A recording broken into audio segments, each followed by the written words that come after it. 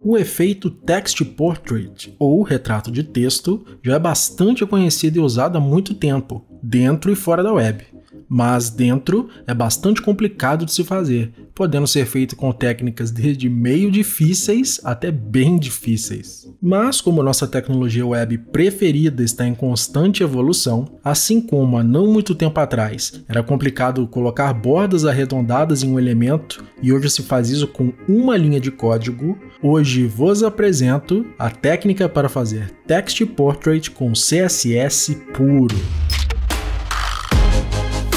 Ah, e a gente está testando esse novo formato de vídeo, mais curtinho, mais direto ao ponto, mostrando uma só técnica. Então, se você gosta dessa abordagem, deixa o like e comenta para a gente saber que é uma boa trazer mais vídeos assim para o canal. O cerne da técnica é usar a propriedade Background Clip. Vamos dar uma olhadinha rápida em para o que ela serve.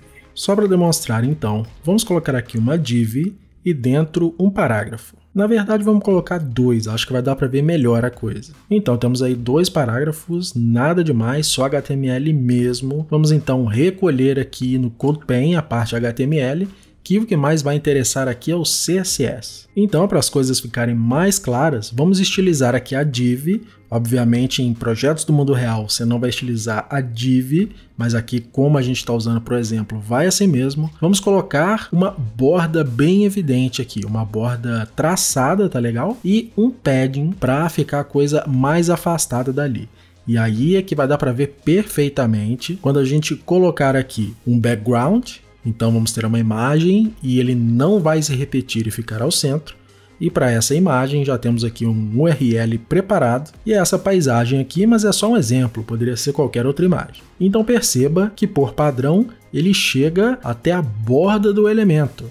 Perceba que o Dashed permite ver ali através da borda e ele ocupa tudo. E aí que entra Background Clip, Border Box é exatamente isso que está acontecendo aqui agora. Mas a gente também pode colocar padding box. Olha que interessante, ele está ocupando o espaço do padding e não mais o border. E aí temos também o content box que ele vai ocupar o conteúdo. Isso daí, se você tem as noções básicas de box model em CSS, não é nenhuma novidade, mas se você ainda não conhecia, é possível sim fazer dessa maneira. Então, com esses conceitos básicos explicados, vou apagar aqui esse CSS e vamos partir para o que interessa, que é fazer o Text Portrait com CSS puro. Para ficar mais interessante, vamos colocar esse body aqui bem escuro, uma cor bem escura aqui, quase preto mesmo, vai ficar bem bonito o efeito que a gente vai fazer. Então vamos definir aqui uma largura fixa, tá? Uns 500 acho que tá bom. E aí temos nossos dois parágrafos dentro dessa div com uma largura fixa.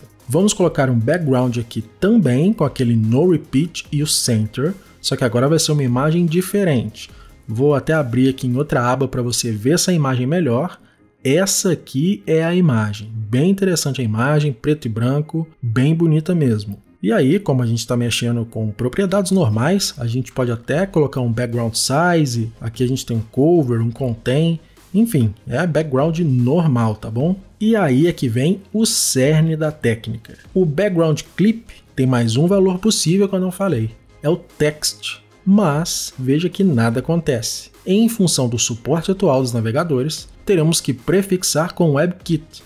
E aí algo já começa a acontecer. Perceba que já mudou, mas para ficar mais evidente, para a coisa ficar mais clara para o que está acontecendo aqui agora, a gente pode trocar a cor para, por exemplo, transparent. Olha que já está começando a ficar o que a gente queria. Podemos até voltar aqui com esse background size, contém e aí já deu para ver perfeitamente, já está se formando o que a gente queria, que é o nosso text portrait. Muito bom, com pouquíssimas linhas de código. Vou até pôr mais um parágrafo aqui, vai ficar mais composto aqui, vai ficar mais bem apresentado, vai ficar muito bonito mesmo. Perceba que as cores usadas ali respeitam a imagem que está sendo usada. Então, obviamente, nem todo o texto vai aparecer completo ali, totalmente visível. Aqui, obviamente, dá para brincar um pouquinho até com RGBA, alguma coisa assim, Vamos colocar um azul aqui, que tal? E um ponto 15 de opacidade vai ficar bem interessante. Olha só que efeito bonito, que coisa elegante. Só para exemplificar aqui uma das possibilidades, uma do, das coisas possíveis que você pode fazer com esse efeito, ele fica uma coisa assim, nesse caso aqui, né, uma coisa mais misteriosa, uma coisa que instiga curiosidade. Então a gente pode num hover, por exemplo, trocar toda a cor do texto e aí sim ele é todo revelado. Olha que interessante. Claro que para não ficar aquela coisa seca, a gente pode pôr uma transição aqui, bem default mesmo, só para ter uma transição, demonstrar o que é possível fazer.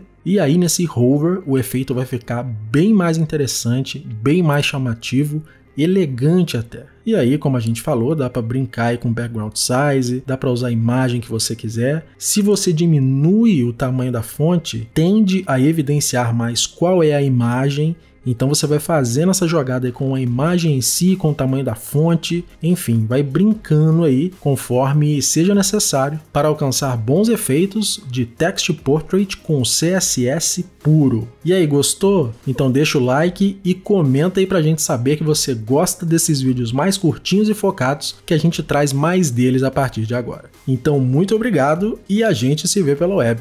Valeu!